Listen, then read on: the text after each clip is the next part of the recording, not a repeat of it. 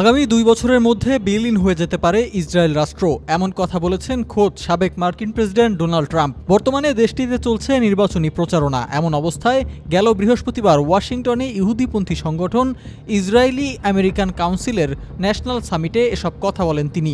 সেখানে রিপাবলিকান প্রার্থী Donald Trump বলেছেন, তার প্রতিদ্বন্দ্বী প্রার্থী কমলা হ্যারিস প্রেসিডেন্ট নির্বাচিত হলে দুই বছরের মধ্যে বিলীন হয়ে যাবে ইসরায়েল। সম্মেলনে ইহুদি ভোটারদের সমর্থন না পাওয়ায় দুঃখ প্রকাশ করেছেন সাবেক এই প্রেসিডেন্ট। তিনি বলেন, এই নির্বাচনে যদি আমি জয়ী না হই, তবে সত্যি এটি ইহুদি জনগণের ওপর প্রভাব ফেলবে। কেননা যদি চল্লিশ থেকে ষাট শতাংশ মানুষ আমেরিকান ইহুদিদের শত্রুকে ভোট দেয়, তবে আমার মতে দুই বছরের মধ্যে ইসরায়েলের অস্তিত্ব বিলীন হয়ে যাবে।